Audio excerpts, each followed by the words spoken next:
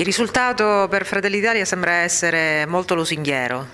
Dai primi dati sembrerebbe essere così, chiaramente aspettiamo domani, siamo cautamente positivi e comunque soddisfatti, ma aspettiamo domani perché poi il vero risultato lo daranno le urne.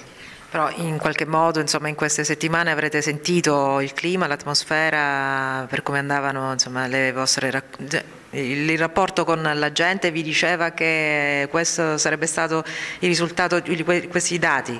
E allora sicuramente durante la campagna elettorale immediatamente ci siamo resi conto che la scelta dell'onorevole Meloni e cioè di appoggiare il candidato Nello Musumeci a Presidente della Regione era stata sicuramente la scelta giusta.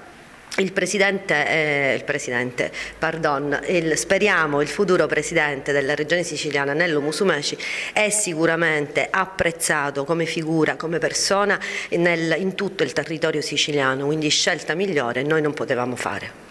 Cosa vuol dire per la Sicilia eh, se i dati si dovessero confermare domani? Ma secondo il mio parere per la Sicilia significa una ripartenza, veramente dare una svolta. Dopo il governo Crocetta, che è stato un governo che ha semplicemente parlato di riforme, è stato un, un, governo di enunciazioni, ecco come se eravamo continuamente in campagna elettorale, ma di fatti concreti non ne hanno realizzati.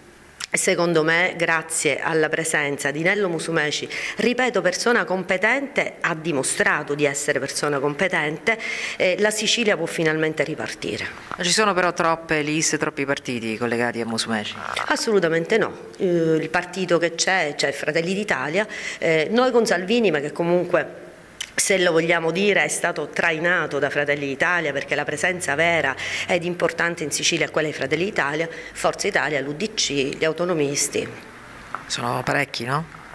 No, non credo siano parecchi perché comunque sono, siamo una coalizione abbastanza amalgamata, non credo che ci siano delle discordanze sul programma, il programma è stato presentato ed accettato da tutti. Aspettiamo domani a questo punto. Assolutamente sì.